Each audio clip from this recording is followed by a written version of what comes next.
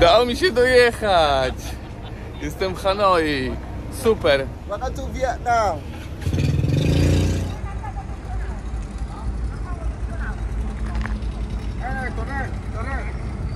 Tutaj nas wyrzucili. Jedziemy grabem.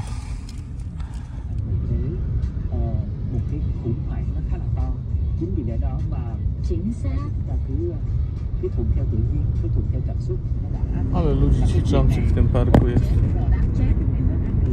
Może tego nie widać, ale tu jest masa ludzi, którzy ćwiczą, robią przysiady, pompki, biegają. A jest szóste nad ranem. Czyli pewnie dlatego, że tu jest po prostu lepsza pogoda do tego. bo Potem jest zbyt ciepło. Jest mnóstwo osób w tym parku. Przy wietnamskiego rapu.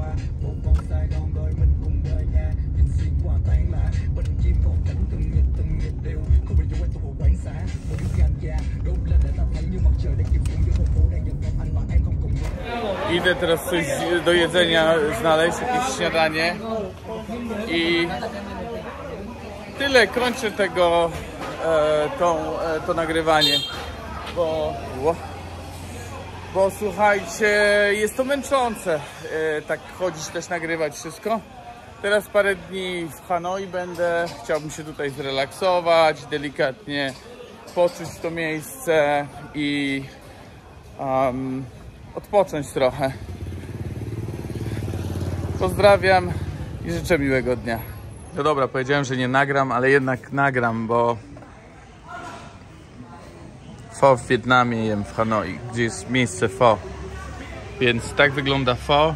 Dostałem do tego chili, e, limonki, Pho, sos, łyżka jedna pałeczki, a pan jest tam, który robi tą Pho.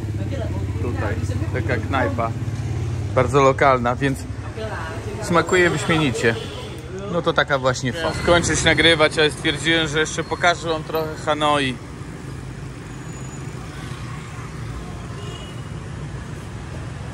Siódma rano, siódma trzydzieści. Naprawdę zatłoczone się zaczyna robić.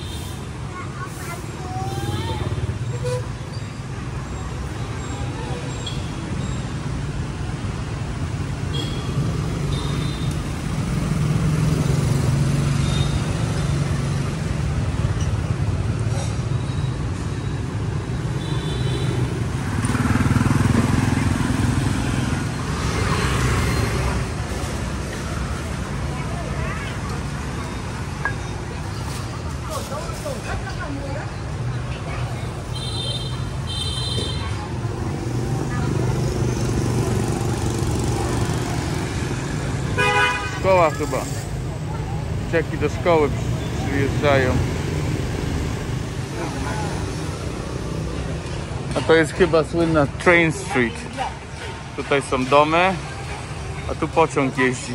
I on faktycznie jeździ. No i trzeba uważać. Bo zobaczcie jak to jest blisko. Tutaj pan siedzi przy torach.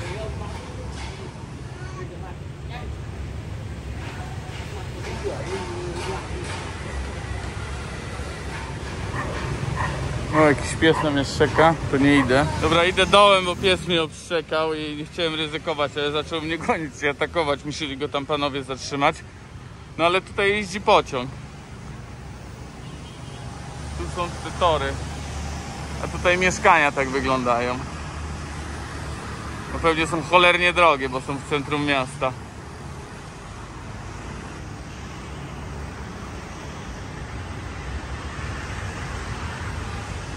Przyozdobiony, nie wiem, może do ślubu? Na jakąś uroczystość. No tutaj wieńce takie z kwiatów e, sprzedają i plotą je też. No i tu są trumny, więc pewnie pogrzebowe rzeczy. Tutaj akurat sprzedają, wytwarzają. No takie u, u nas wieńce nagrobkowe. Słuchajcie, tam jest pogrzeb, bo jakieś wieńce są i wszyscy czekają, więc tam chyba jest pogrzeb, a to chyba jest w ogóle taka, taka dzielnica pogrzebowa, bo są też tutaj trumny, widać, sprzedawane, więc ogólnie biznes pogrzebowy. No i pralnia. Dobrze wiedzieć, sobie pranie zrobię na kilogramy. Ciekawe jaka cena, zapytam. Cennik od sztuki jest. O tak dla przykładu za koszulkę, t-shirt 4,60, za spodnie 5,50. Miejsce jest ogólnie widzę i zobaczcie jaki ruch. No i na przykład tutaj idę w tą stronę, to nie mam jak przejść, tylko ulicą muszę iść.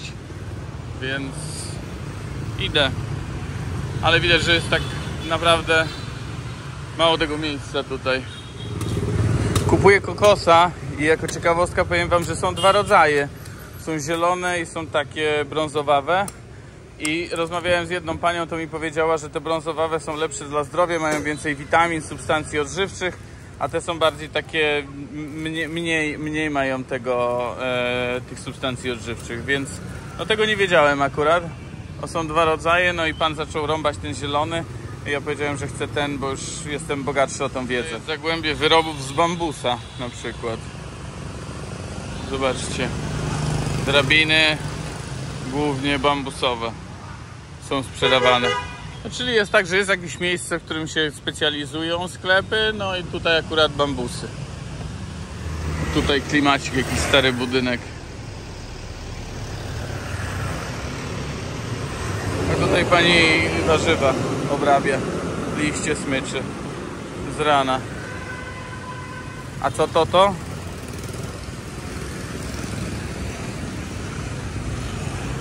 Okierala maliny. To do jedzenia? Idź. To pierwsze widzę. No ale wygląda jak jeżyna. No i pan podjechał i kupuje. Proszę bardzo, cyk, porcyjka i w drogę dalej. Dotarłem do jakiegoś większego skrzyżowania takiego. Jest cytadela tutaj. Azja jest o tyle ciekawa, że zawsze jest coś do filmowania. Zawsze są jakieś rzeczy, które nas będą dziwiły. E, No bo to jest po prostu inny trochę świat, inna kultura, inny styl życia, inne e, nawyki. Zobaczcie, kury biegają w środku miasta. A tu komisariat policji. Policyjne motocykle. Traffic Police się nazywają, taki kra krawężniki tak zwane. O i tutaj jest wizualizacja wykroczeń. Wizualizacja wypadków, jakie mogą być. Zobaczcie, taka ulica i co chwila ktoś jedzie. Jak tu przejść przez taką ulicę? No właśnie trzeba, tak jak mówiłem, iść śmiało do przodu jednym ruchem, takim jednym, jednym tempem. O, teraz na przykład jest jakaś luka. Będzie jechało więcej osób i wam pokażę. Dobra, tam się przebijają, zobaczcie. I wchodzę i idę normalnie sobie jednym ruchem idę, nie? O. Widzicie? I oni mnie ominęli. Tylko nie wolno mi się zawahać, zatrzymać się.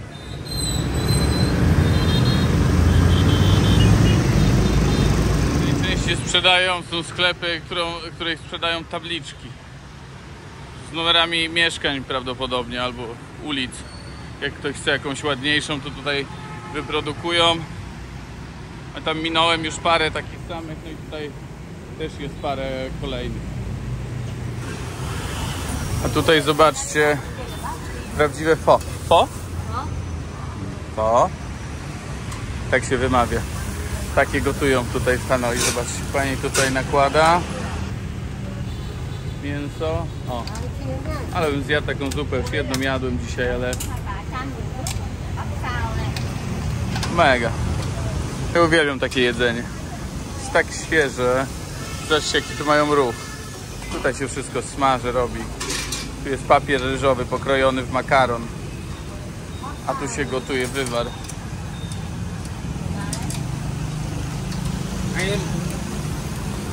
Tutaj pan coś smaży, a tutaj się je wypas. A tu jest część, gdzie sprzedaje się artykuły tak zwane gospodarstwa domowego. Tutaj różne. O. Kubki plastikowe, przybory kuchenne, dywany, torebki. A pani tu idzie i zobaczcie. Ma rybę. Tak a propos owoców, bo właśnie mijałem, to się dowiedziałem, że w Wietnamie najdroższym owocem jest wiśnia. Kilogram wiśni, wczoraj rozmawiałem z, w hotelu z y, paniami i powiedziały mi, że kilogram wiśni w Wietnamie kosztuje około 80 zł. Od 60 do 80 zł. Jest to towar maksymalnie premium. Tu są jabłka. Jabłka powiedziały mi, że kosztują, jeżeli dobrze zapamiętałem, 20 zł. A kolejne są truskawki, też bardzo, tam 40 zł czy 50 za kilogram, więc też niesamowicie drogie.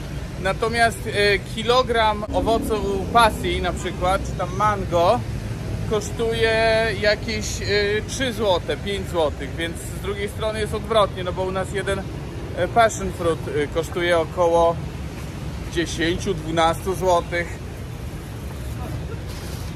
Także o, także y, tutaj nie ma jabłek, są bardzo cenione wiśni i truskawek.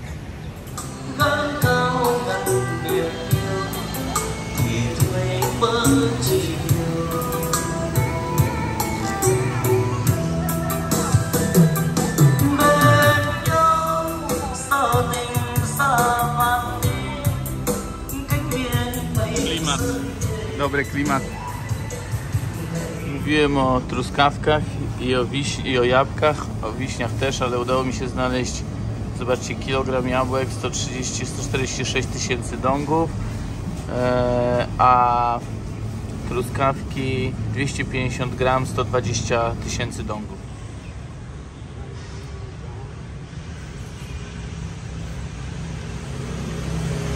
Doszedłem do takiej części bardziej zachodniej, takiej europejskiej bardziej. Widzicie tutaj lepsze sklepy, lepsze kawiarnie, generalnie więcej miejsca.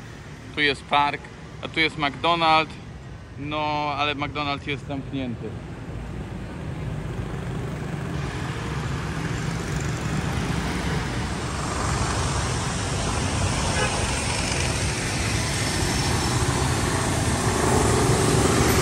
Są jakieś banki, bankomaty. No tutaj lepiej to wygląda. Czyli widzę, że ta część jest taka bardziej prestiżowa, jak to powiedzieć, mniej lokalna, a tamta część, gdzie szedłem, bo obszedłem to jezioro dookoła, jest taka bardziej lokalna. Elektryka spoko zrobiona.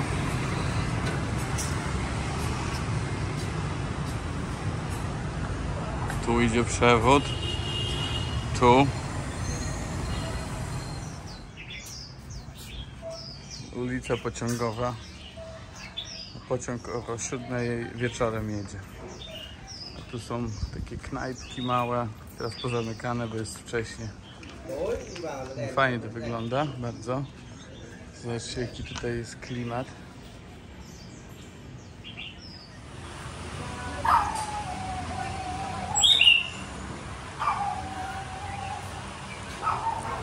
Zobaczcie psy.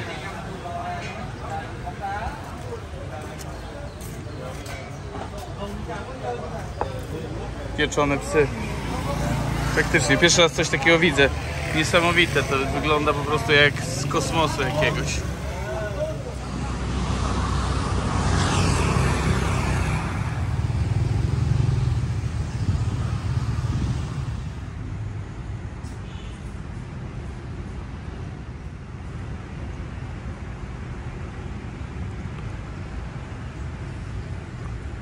A tutaj można kupić kadzidła w ofierze i można kupić ryby i ptaki. I ja kupię od pani ptaka i złożę go, e, znaczy wypuszczę go po prostu tam. Kupiłem ptaka i idę do świątyni go wypuścić i wtedy się życzenia spełnią. Ptak za 9 zł. Taki ptak się kupuje. I lecę, on mnie gryzie, skurkowany.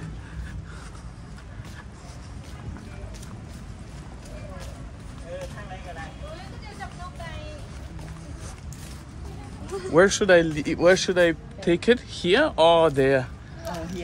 Over there? Over where? Over there.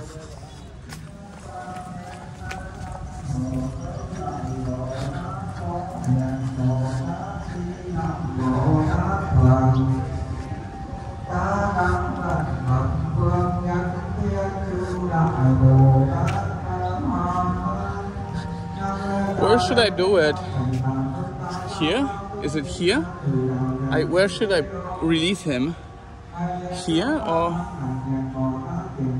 you don't understand? Just gonna do. Po prostu zrobię go tutaj go wypuszczę.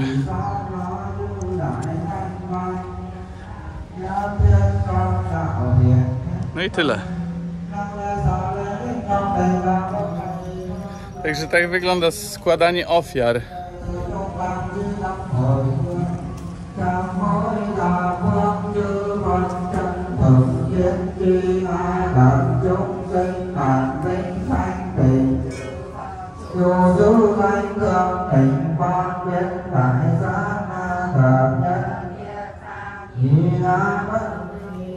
Za mną msza trwa. Ja wypuściłem już ptaka, złożyłem ofiarę. Także tak to wygląda. Składa się ofiary kupując ptaki, rybki, e, jakieś e, tam były e, no tam były tylko ptaki, rybki i kadzidła i wypuszcza się te ryby. No i w taki sposób składa się ofiarę i wtedy trzeba pomyśleć życzenie i to życzenie ma szansę się spełnić przez ten akt zw- zwracania wolności stworzeniu.